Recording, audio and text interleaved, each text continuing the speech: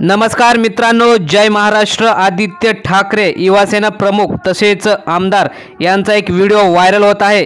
महाराष्ट्रात जसा Thackeray brand famous आहे तसाच काल मध्य प्रदेशमध्ये आदित्य ठाकरे हे गेले असता त्यांच्या स्वागतासाठी हजारो लाखो तरुण एकत्र आले. हजारोंची रॅली निघाली. आपण तो संपूर्ण व्हिडिओसुद्धा बघणार आहोत. तर मित्रांनो आपण बघू शकता व्हिडिओमध्ये आदित्य ठाकरे यांना भेटण्यासाठी कशी तरुणाईंची गर्दी उसळलेली आहे. काल मध्य प्रदेशमध्ये माजी मुख्यमंत्री कमलनाथ यांच्या मतदारसंघात छत्रपती शिवाजी महाराज यांच्या पुतळ्याचं अनावरण करण्याकरता आदित्य ठाकरे गेले.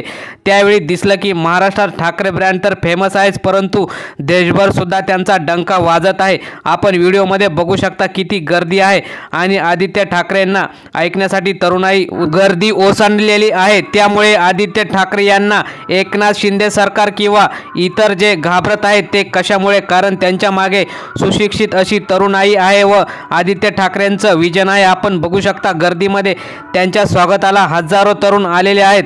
तर मित्रांनो तुम्हाला काय वाटतं? या तरुणाईच्या बळावरच आदित्य ठाकरे महाराष्ट्राचं व देशाचं पुढील नेतृत्व बनतील का?